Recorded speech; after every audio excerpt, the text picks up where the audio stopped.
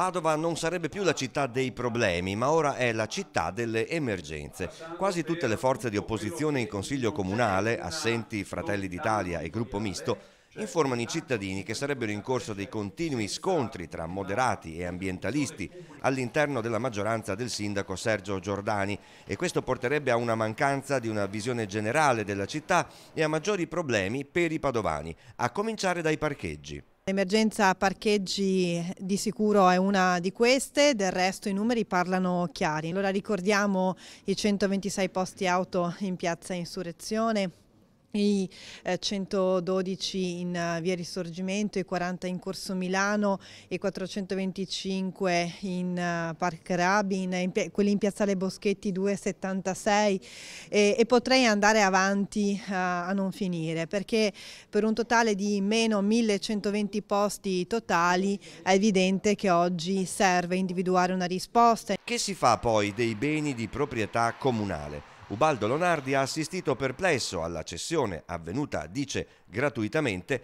di un intero padiglione della fiera all'università. È un depauperamento rispetto allo scopo che questi immobili hanno, che questo terreno ha, vale a dire quello di essere promozione del territorio, sia come fiera che come anche altre attività. Viene meno una parte della fiera al suo scopo senza alcun dibattito su questo. E il comune cosa ne ricava?